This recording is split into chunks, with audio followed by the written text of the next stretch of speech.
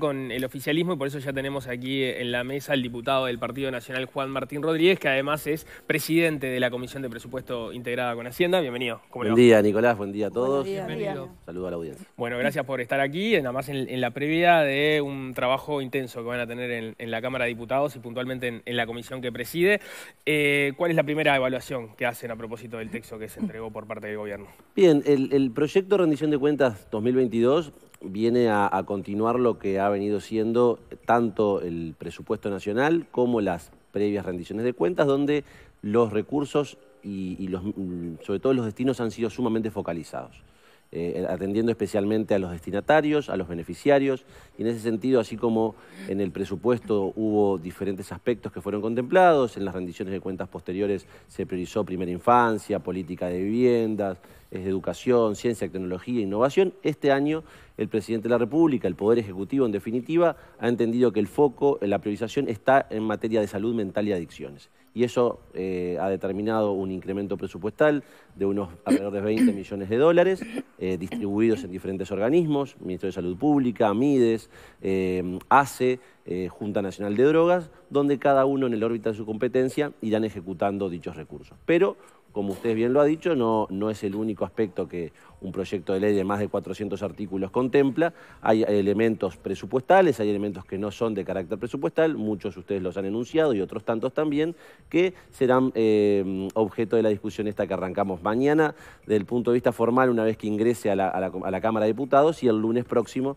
cuando eh, el equipo económico comparezca ante la comisión a presentarlo. Sí, hay, hay como dos capítulos grandes que se abren. Uno tiene que ver con lo presupuestal y el otro tiene que ver con, con lo programático, ¿no? Siempre pasa lo mismo con las rendiciones de cuentas, hay un montón de artículos que no tienen nada que ver con lo presupuestal y que uno siempre se termina preguntando, se repite un poco aquella discusión que se dio con, lo de la LUC, ¿no? Si, los tiempos que eh, tiene una discusión de rendición de cuentas son los necesarios para discutir una variedad de temas tan, tan amplios que a veces tienen este, impactos que no son menores, ¿no? Termina siendo una discusión bizantina, ¿no? Eh, este, todos los gobiernos han entendido o entienden que en, el momento de dar, enviar el proyecto de rendición de cuentas y también el presupuesto, por ejemplo, se incluyen muchos artículos que, que nada tienen que ver con materia presupuestal, pero que es el momento de incorporarlos y por eso es que muchos de ellos la gran mayoría son tratados, aprobados, y otros tantos la, propia Comisión de Presupuesto y Hacienda o incluso el plenario entiende que debe dedicársele más tiempo a su análisis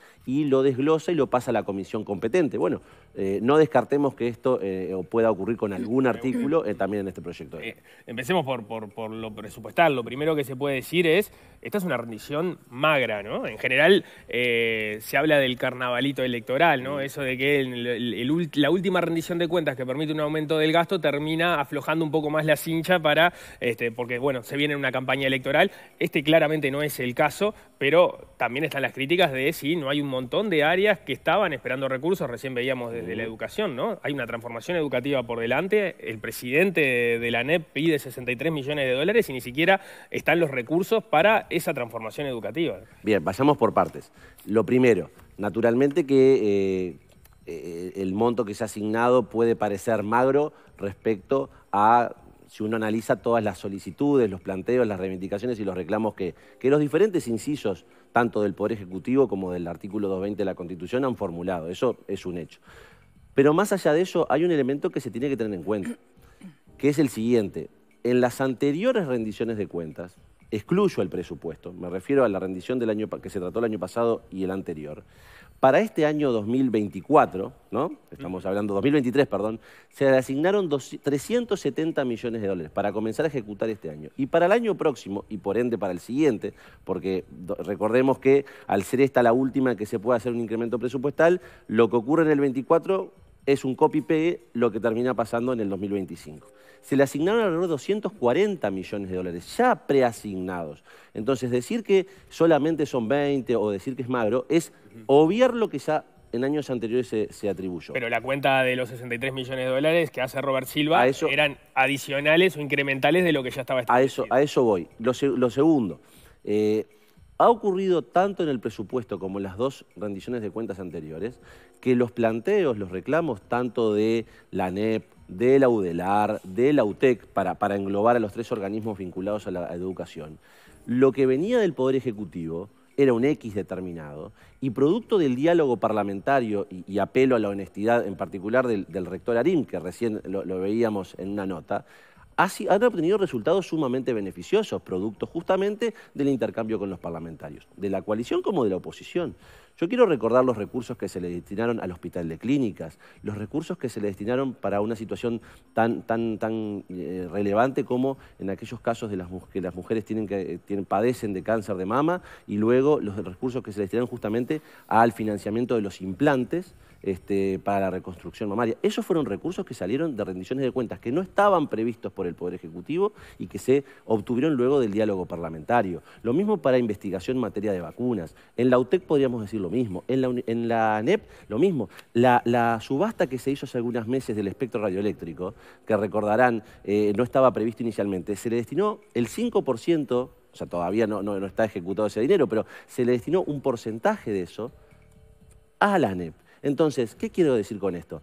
Que siempre ha existido buena voluntad tanto de los incisos como del Parlamento para llegar a puntos comunes y priorizando cuáles son las áreas más importantes, identificar los recursos que permitan el financiamiento. Yo no descarto que esta ocurra, en esta oportunidad ocurra lo mismo. ¿Pero habrá mensaje complementario, decís vos, por parte del gobierno o va a ser todo redistribución? No, es necesario, a ver, yo no voy a ni afirmar ni descartar que pueda haberlo. No lo ha habido ni en el presupuesto ni en las anteriores rendiciones, por lo tanto a priori uno puede decir que no, pero los recursos que se han identificado en instancias anteriores eh, ha sido producto del trabajo parlamentario en la identificación de lo que no se ha ejecutado. Si no, eh, eh, yo apelo a la, frase del presidente hace algunas semanas, meses atrás, cuando dijo, muchachos, no pidan, ejecuten. ¿Eso que está queriendo decir? Cuando el presidente de la República le dice a los ministros, ejecuten, evidentemente hay muchos rubros no, no, yo no voy a analizar eh, las razones, por lo menos eh, eso amerita también un intercambio con, con, los incisos, con los ministros, con los diferentes organismos. Pero ¿por qué si uno tenía 100 y en algún área, en algún programa ejecutó 25, ¿Qué pasó que en tres años y medio ejecutó este, 25 de 100? Lo, que pasa es que eso no necesariamente termina, es, algo positivo, ¿no? Porque si no ejecutaron quiere decir que hay problemas de gestión para ejecutar esos recursos. Entonces tenemos por un lado eh, presupuestos bajos y por el otro lado falta de, ejecución y falta de eh, gestión para poder este, ejecutar esos recursos que son insuficientes en muchas áreas. No, precisamente tiene que ser así. Pueden haber diferentes razones que, que obliguen a que determinadas circunstancias en algún programa determinado en algún aspecto determinado, un organismo no haya ejecutado. Y lo importante, como los recursos son finitos, que eh, eh, en este caso los parlamentarios tengamos, porque los elementos los tenemos, de identificar, bueno, a ver, si esto no se puede ejecutar, no es prioritario, no es mejor que se le pueda destinar a otro organismo que está en condiciones de ejecutarlo en este momento. ¿Y el espacio cuándo termina siendo eso? Bueno, eso es el trabajo que empieza ahora. en las experiencias del año pasado, por Y bueno, eh, bueno, estos 370 millones que hablamos para el 2023 fueron producto justamente de eso. Los 240 millones de, para el año próximo fue producto en gran medida, tanto en la Cámara de Diputados como en la Cámara de Senadores, de empezar a ver, a ver esto, a ver esto otro. Che, a ver, ¿no es mejor priorizar tal área que tal otra. Y, en cuanto, y termino con esto, si bien eso puede deberse a situaciones concretas, también es importante, y eso lo va a dejar debidamente claro la ministra el próximo 10 de, de julio, lunes de la semana que viene, en todos los años, y esto es importante, en todos los años de este gobierno, la ejecución presupuestal, la ejecución, es decir, lo que, lo que definitivamente se invirtió o se gastó, no lo que estaba en el papel, porque el papel puede estar muy lindo, pero si después eso no se ejecuta, eh, eh, es, es fantasía. En todos los años, lo que se ejecutó realmente fue superior a lo que se había ejecutado en el último año presupuestal del gobierno anterior si querés, en realidad no es el último, porque el último es el 2020, que es este gobierno, eh, superior a lo que se ejecutó en el 2019. Entonces, toda esa, esa eh, serie de frases que se hablan en cuanto al recorte, los hechos, y lo va a demostrar la ministra cuando comparezca el lunes que viene, demostrarán que la ejecución ha sido superior año tras año respecto a 2019. A mí me genera una duda em, el siguiente apunte. El gobierno arrancó el año 2020 con un déficit fiscal alrededor del 4.8%.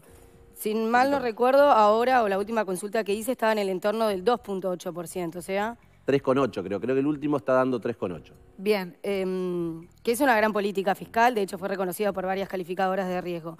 Ahora, teniendo la última oportunidad para aumentar los recursos en gasto público, ¿no sería conveniente resignar un 0.5% del déficit fiscal o algo del déficit fiscal que igual sería, no sé, sería una buena nota de todas maneras, y volcarlo a áreas que son prioritarias para el gobierno y necesitan recursos. Por ejemplo, primera infancia, Mm. que sí se aumentó la rendición de cuentas pasadas, pero los resultados siguen siendo desfavorables. Y también la transformación educativa, que es uno de los grandes emblemas de este gobierno, que pide más dinero. Entonces, la consulta es, ¿no se puede resignar un poco de déficit fiscal sin generar un escenario dramático y volcarlo a prioridades que necesitan dinero? Ana, lo que pasa es que estamos dando por hecho que no van a haber recursos para la transformación educativa. Bueno, primera infancia, son varios O- los o ámbitos prim- que o primero, no, si querés hablamos de cada uno. Estamos, estamos dando por hecho que no van a haber. Estamos dando por hecho en materia de primera infancia que se destinaron alrededor de 200 millones, este, 50 por año, en diferentes organismos también.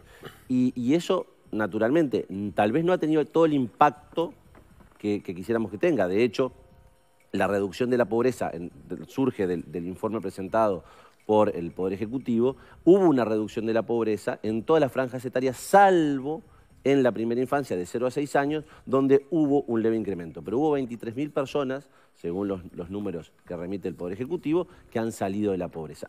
¿Estamos conformes? Por supuesto que no. Se tiene que seguir trabajando en esa línea.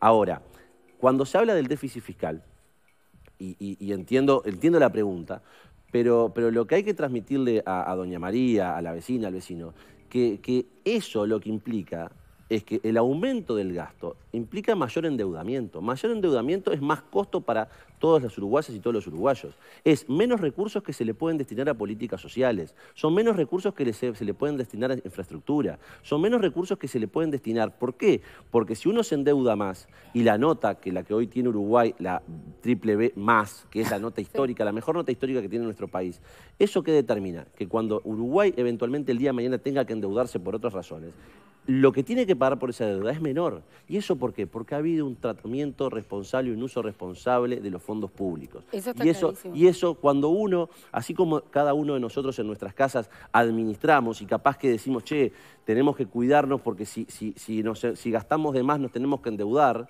y si, y si nos sobregiramos en la tarjeta después tenemos que pagarla y capaz que no tenemos el- eh, los, los recursos como pagar. Eso es más deuda y eso es lo que hace el Estado también y lo que hacen los gobernantes. Cuidar y en función de los recursos que son finitos, capaz que decir, che, ¿no sería conveniente que como tenemos limitada la capacidad de acción, acá que no se está ejecutando todo lo que quisiéramos, destinar, agarrar un poquito y destinarlo a esto que sí es prioritario? Bueno, Para- ese es el trabajo que arranca ahora. Para hacer eso se necesita un, una- un- que, que- que la orquesta política esté afinada, que suene bien, se hay que negociar mucho y acordar mucho. Efectivamente. Eh, usted convocó un asado, ¿no? Para, para, para esta noche, para empezar a, Sí, a, bueno, a limar o a, bueno, a, a- a conversar, a llegar a acuerdos. Eh, tuvimos que suspenderlo por un, tema, Ah, ¿se por, por- suspendió? por un tema de agenda, pero va a quedar para estos días, pero el propósito sigue en pie. ahí va. ¿Iban a ir los diputados de Cabildo? Sí, por lo menos, eh, salvo algunos casos puntuales. En realidad, el único diputado de Cabildo que está en la Comisión de Hacienda y Presupuesto es Perrone. Y nunca me confirmó que no fuera a asistir. Hubo dos casos de dos, dos colegas que, por razones también compromisos políticos, nos habían anunciado que no podían participar. Pero esperemos, una vez que confirmemos la nueva fecha, este, calculo que no habrá inconveniente. O sea, eh, yo soy de las personas que cuando me hacen una invitación de buena fe participo, este, salvo que tenga alguna, alguna otra actividad que me lo impida.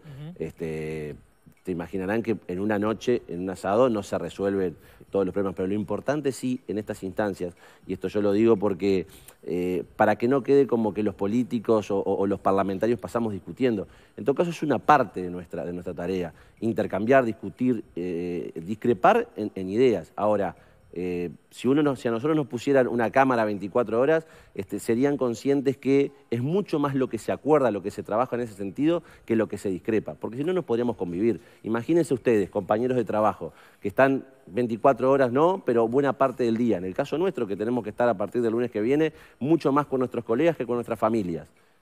Si pasáramos discutiendo sería inviable. Eso es producto también de que hay un diálogo, hay una convivencia necesaria. Pero ahí se está refiriendo a oficialismo y oposición, por supuesto, ¿no? por que es algo sano, que, que existe ese diálogo que, que hay en, en el Uruguay.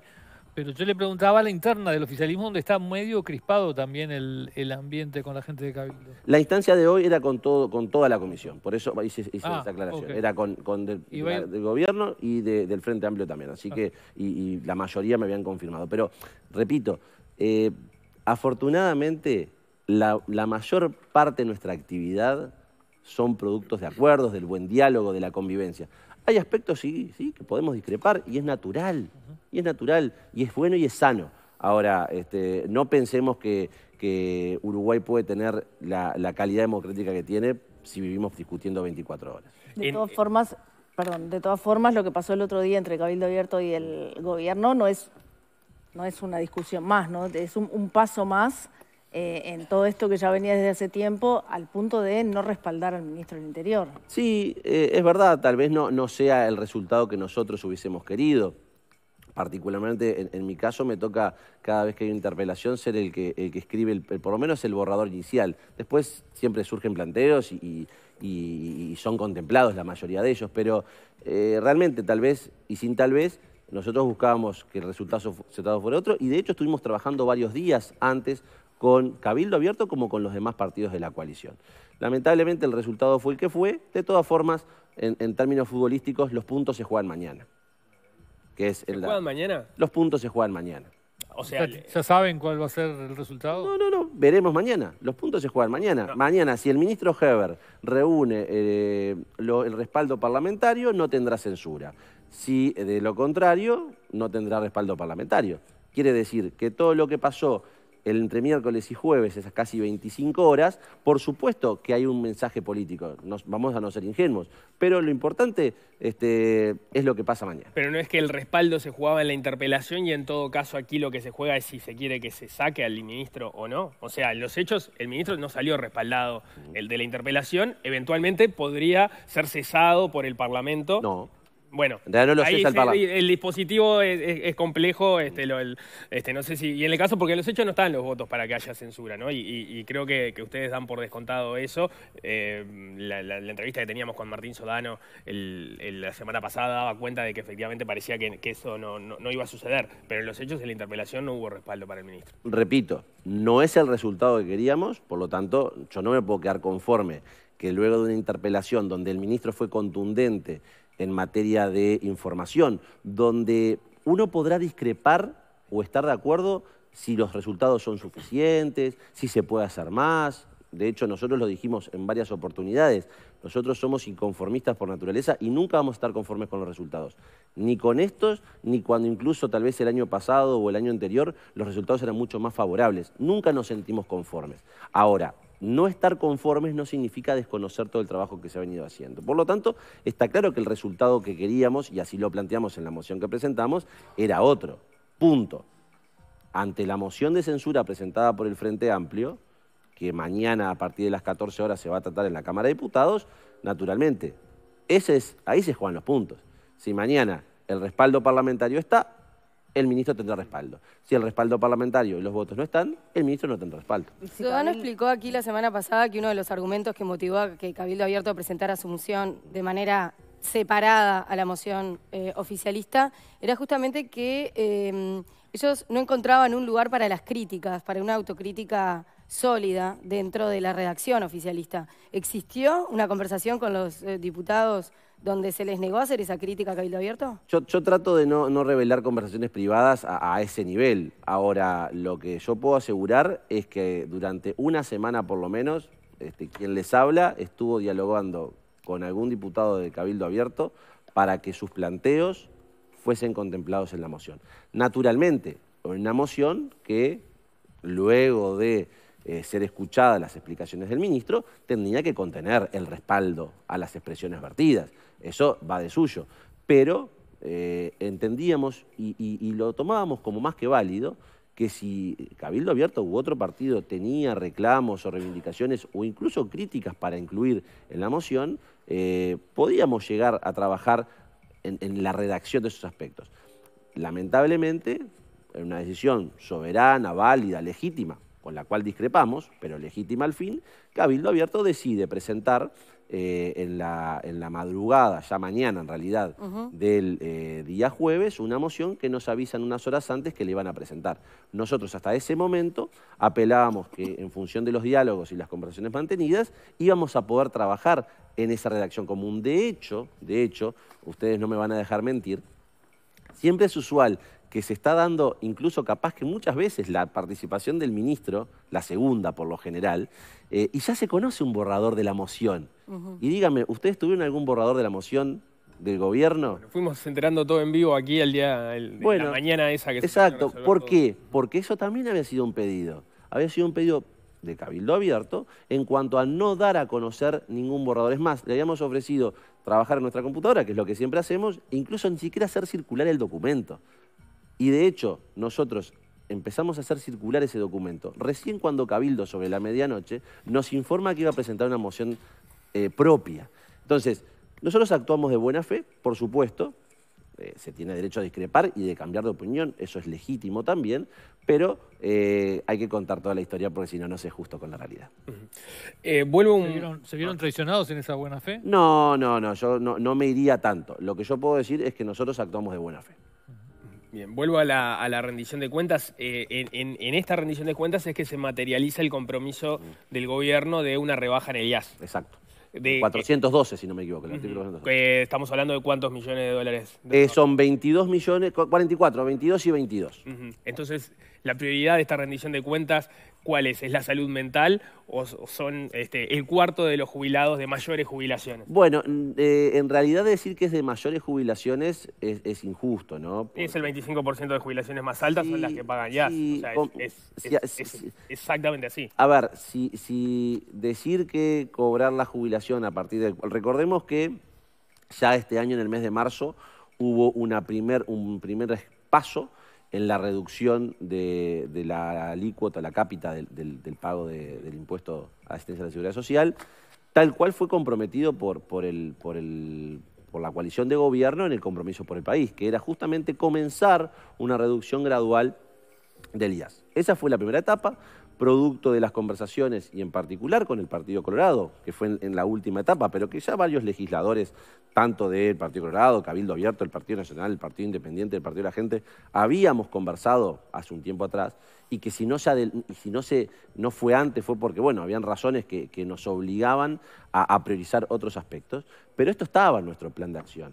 Eh, tal vez esperábamos que fuese un poco más, de hecho no se ha podido, eh, ha quedado este, limitado a, a- a este porcentaje, pero entendemos que es un reclamo que es, primero es un compromiso asumido por el presidente de la República y por la coalición de gobierno, y los compromisos están para cumplirse, salvo que exista algún elemento que lo impida, pero los compromisos están para cumplirse. Pero en, lo- en los hechos, la renuncia fiscal por la rebaja del IAS es mayor al dinero que se va a estar otorgando a salud mental. Bueno, pero es más, si lo vemos de esa forma, Nico, también podemos decir, sumemos a esos 22 millones, los en realidad los 150 millones que han significado el- el- el- la resignación fiscal por lo del IRPF, por lo del IAS de este año, por las micro y pequeñas empresas. Entonces, a ver, ponerlo en términos de es esto contra lo otro, yo soy de los que de lo que piensa que no es la forma que se tiene que encarar, porque ahí estamos pensando en- viendo lo siguiente. Esos abuelos, esos jubilados, abuelos, este, no abuelos, en definitiva. Los abuelos con las jubilaciones más altas. no son las más altas, Nico. el- el cuarto de jubilaciones a más parece, ¿A ti te parece que ganar 50 mil pesos es una jubilación alta? Es más que el otro 75%. Pero que no paga IAS. Es que- y que nosotros, el Porque- Partido Nacional, y que el Partido Colorado, el Partido Nacional, Cabildo Abierto, el Partido Independiente, el Partido de la Gente, nunca estuvimos de acuerdo con el IAS. Entonces, que se nos reproche que queremos ir gradualmente eliminándolo cuando nosotros, eh, siendo oposición, estuvimos en desacuerdo, y es más, recordemos la historia del IAS. Esto era un IRPF a jubilados, que producto de una sentencia, de varias sentencias, de la Suprema Corte de Justicia que declaró inconstitucional, se tuvo que, re- tipo recalculando por el Poder Ejecutivo y se creó este impuesto. Entonces, no se nos puede reprochar que apelemos a la derogación gradual, a la emisión gradual, cuando no estuvimos de acuerdo en su origen. Yo, el, el- planteo al que voy es que los recursos, como lo venimos manejando, son todos finitos. Y el, punto de fondo al que voy es, eh, acá hay un, hay un compromiso del gobierno de ser austeros con, con, este, los recursos públicos. eh, y mi pregunta es si es una fortaleza o, o- o en ciertas medidas se está volviendo una debilidad del gobierno. Eh, el gobierno asumió con un déficit fiscal muy elevado, había que atenderlo, fue un gran problema. 3.000 del millones gobierno- de dólares. Un gran problema del gobierno anterior y este, este gobierno empezó a trabajar en eso con un escenario muy adverso porque enseguida vino la pandemia, lo cual aumentó, este, implicó gastos que no estaban previstos. Exacto. Eh, pero si lo vemos en, en cuestiones puntuales, por ejemplo, lo que ocurrió con el agua este año, eh, da la impresión de que la precaución fiscal se come las prioridades más elementales que tiene la, sociedad.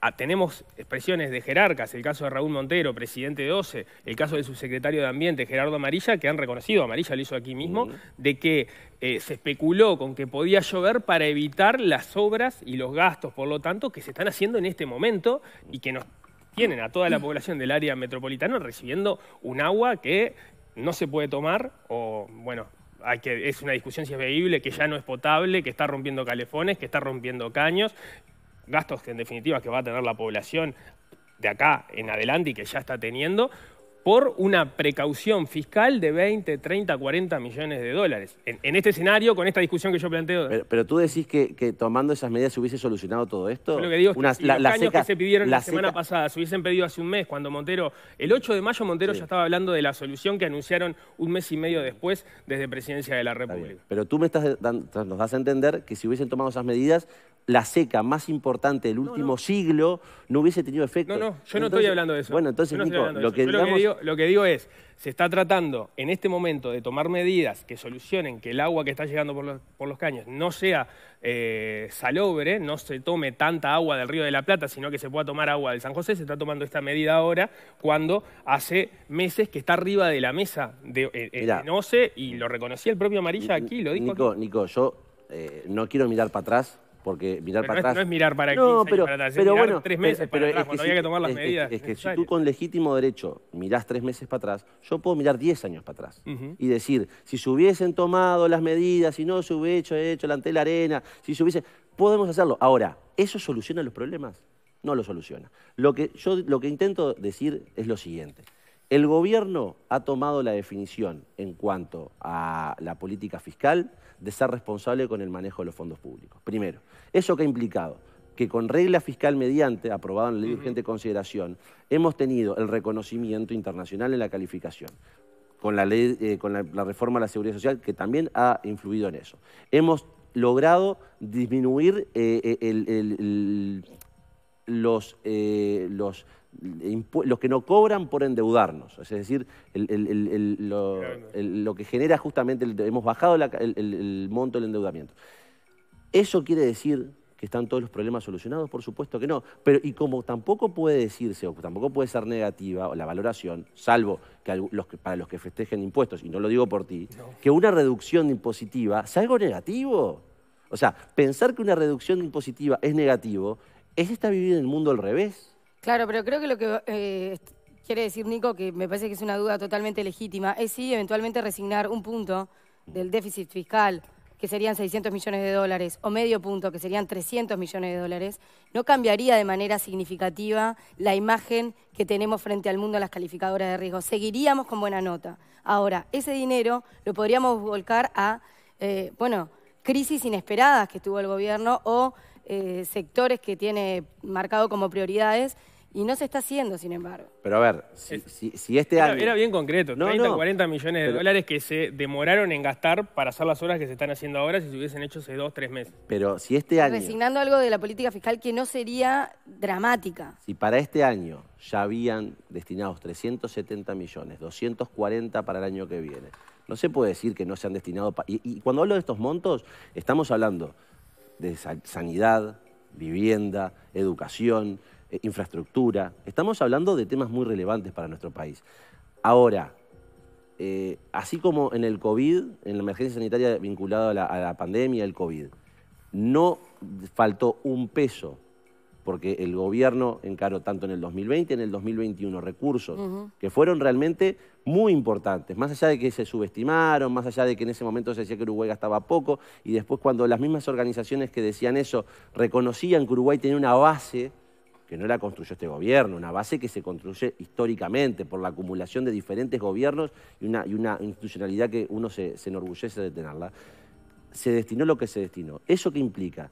que hay, que cuando pasó la pandemia hubo recursos para eso, que ahora cuando está la crisis hídrica, también, y de hecho de la mano de la rendición de cuentas, ingresó el jueves o el viernes, no recuerdo, eh, un proyecto justamente de la creación del fondo, del fondo hídrico. O sea, y la, política es la misma, no va a faltar un peso desde el Estado para atender esta problemática. Eh, Si realmente... Para- sin embargo, comparándolo con el ejemplo del COVID, Mm. parecería que tanto en, en materia de, de respuesta, de los tiempos de respuesta, Mm. como en comunicación a la sociedad, no se ha estado a aquel nivel, digamos. Es una crisis que no se ha manejado en igual nivel. Bueno, eh, las situaciones, el análisis puede ser, yo no, no voy, a, no voy a, cuestionar eso, o sea, por supuesto los puntos de vista, a, nadie le agrada lo que Nicolás relataba, este, porque en definitiva tiene que ser, es un problema que sufre toda la sociedad. Estamos hablando del área metropolitana, hablando con algunos colegas, del- algunos colegas del interior me decían, che, nosotros que usamos toda la vida este, agua de aljibe, eh, y acá en Montevideo. Pasa que acá muchas veces nos ha acostumbrado a la visión macrocéntrica, ¿no? Macrocefalista. Pasa, pa- no, no, no, no, está claro, pero lo que quiero decir que, que muchas veces el salobre que, que hoy se cuestiona, y está bien, porque uno está acostumbrado, como lo, lo aprendimos en la escuela, eh, inolora, insípida, incolora. No, potable, básicamente. Está, Pero, potable. pero en definitiva, eh, la descripción del agua potable, a eso es lo que voy, lo que nos enseñaban en la escuela. Eh, uno va a algunas localidades del interior del país o, o en, la zona Es rural. salada el agua. Bueno, a ver, El estaría- pozo del agua no es eh, estaría bueno cuando nos dicen, y ya le digo, hemos hablado con, con colegas y no colegas de diferentes departamentos que dicen, bueno, realmente los montevideanos están bastante este, acostumbrados a una, una- a una realidad que no es muchas veces la que sucede en otros lados del país. Eso, lo que lamentamos es que termina siendo lo de el siempre, es la visión, porque esta seca, esta seca que ha repercutido en los últimos meses de, fuerte, de, una manera muy fuerte en Montevideo y el área metropolitana, viene afectando hace tres años al país. ¿Y por qué los montevideanos ahora nos ponemos así alerta? Y porque nos afecta a nosotros. Pero cuando en el interior se daba la seca hace varios años y los montevideanos miraban para el costado o se tomaban No las sé medidas, si o, no decíamos... costado, porque hubo emergencia agropecuaria, se destinaron fondos en la medida de lo sí, posible para claro. atender la emergencia agropecuaria. Igual- Por lo igual tanto, no- es que se miró para el costado de la sociedad. No, colabora pero, con- pero, con- ¿cuántas, no- pero cuántas veces escucha- escuchamos decir, escuchamos decir, ah, sí, estos son los del interior, los del campo que se quejan permanentemente. Y eso no lo dice uno, lo hemos escuchado. Entonces, Pero nada- ninguna de esas voces determina la política. no, no, pero es importante el contexto. Entonces, ante esta realidad que hoy afecta a la zo- al área metropolitana, es importante ser conscientes que los recursos van a estar, como estuvieron para con el COVID. Por lo pronto, están llegando tarde. Bueno, ahí podemos eh, entrar en un análisis que siempre va a ser, siempre va a haber margen a la discrepancia. Bueno, los hechos son los hechos, ¿no? Sí, bueno, perfecto. Se, se están haciendo obras que estaban eh, comentadas y estaban arriba de la mesa meses antes que no, se- y no se empezaron antes. Es un dato de la realidad. Repito, si Arasatí se hubiese hecho hace muchos años, Sí, este problema no estaría. Entonces, repito, si acá el tema es si se hizo o no se hizo, entramos a mirar para atrás y el espejo retrovisor, este, si bien siempre uno se ve tentado en utilizarlo, este, creo que lo que tenemos que hacer es mirar para adelante. Y lo que, mirando para adelante, lo que estoy diciendo es, el gobierno no va a escatimar un peso en la atención a la crisis del déficit hídrico. De nuevo, entonces. No va a escatimar un peso. Eh, queda, hay, hay distintos puntos de discusión en torno a la rendición de cuentas. eh, no va el tiempo para abordarlos todos. Tiro uno más antes, antes del cierre que tiene que ver con este aumento que se da en eh, las penas de homicidio. ¿no? Se sube de la mínima de 20 meses a 4 años. De dos años a, cuatro, a seis. Seis. De De dos a seis. De, de dos a 6, perfecto. Y de 12, y de 12 a años. 18 la máxima. Lo cual, eh, por ejemplo, el, el fiscal de homicidios, este Carlos Negro, advertía de que eso impide que se hagan este, juicios abreviados en torno a, a esos delitos y que eso podía generar una serie de problemas, más allá de eh, llegar o no a esas condenas y tener que transitar este, los juicios, un tema de, de economía eh, procesal, decía, bueno, incluso se puede llegar a que algunos juicios queden impunes porque eh, hay que ir a juicio y hay que efectivamente demostrar esto y eso podía generar ciertos grados de, de impunidad. ¿Qué, qué dicen al respecto? Bueno, este, este es como hablábamos al principio, es un típico artículo no, no, no presupuestal. presupuestal. Por lo tanto, atenderemos a tanto al Poder Ejecutivo cuando, cuando venga a explicar las razones que, que promueve. Seguramente el Ministerio del Interior lo vaya a fundamentar, también lo hará muy probablemente desde Presidencia de la República, pero sobre todo el Ministerio del Interior. Y escucharemos también a los que no están de acuerdo para tomar la debida, la debida cautela al momento de tomar la decisión. Ahora, dicho esto, y, sin adelantar posición, es muy importante ser conscientes que eh, aquí hay una discusión doctrinaria, académica, respecto a si el aumento de las penas termina ejerciendo positivo o negativo.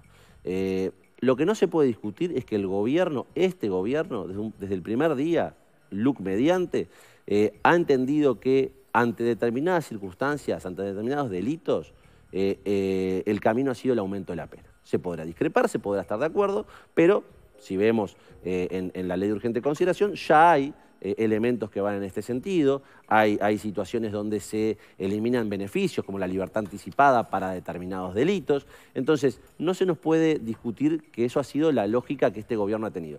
Después, repito, se puede discrepar, se puede coincidir respecto a la parti- pertinencia de la Hay, hay un- una discusión que hay que me parece que, que es válida, es si no, no, no es un atajo la rendición de cuentas para tratar estos temas, sino se requiere una reforma del, del- del Código Penal en su conjunto, no el del Código del Proceso Penal, el Código Penal para eh, justamente establecer y equilibrar la dosimetría de las penas en los distintos delitos y no ir tocando de a uno, aumentando en función de lo que me parece que puede tener como, como efecto en ese contexto donde se discute todo tan rápido. etc. Sí, son, son posiciones que, que- que existen al respecto, eh, válidas todas, los que sostienen una cosa, tanto como los que sostienen otras.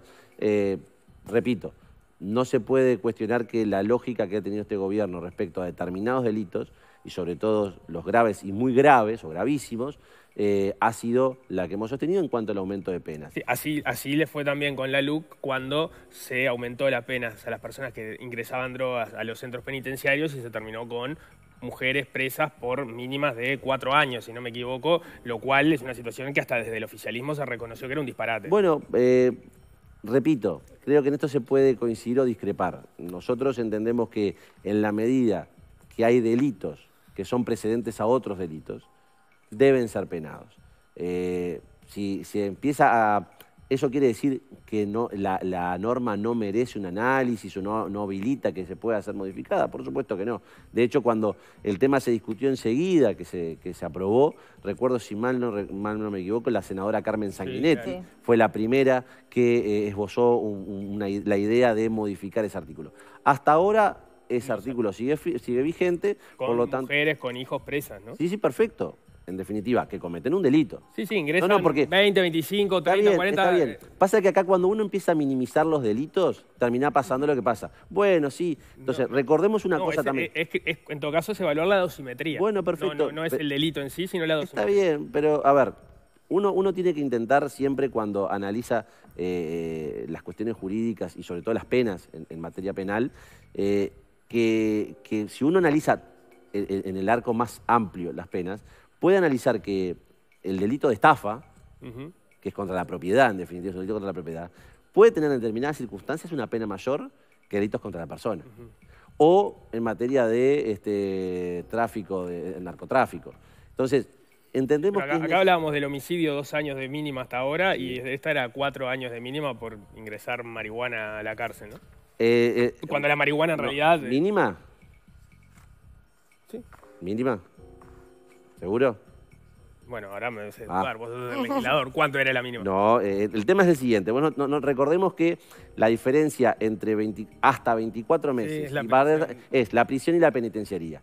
Lo que hacía era, eh, lo que se modificó en la LUC, era transformar la mínima en penitenciaría. Por eso te digo que no creo que eran cuatro. Bueno, dos en todo caso. Bueno, está, lo no, mismo es- que no es lo mismo. No, Bueno, no, está eh, bueno, no lo y, ahí- ahí vemos, entonces, ¿cómo puede ser que se pene al homicidio con esto con la mínima?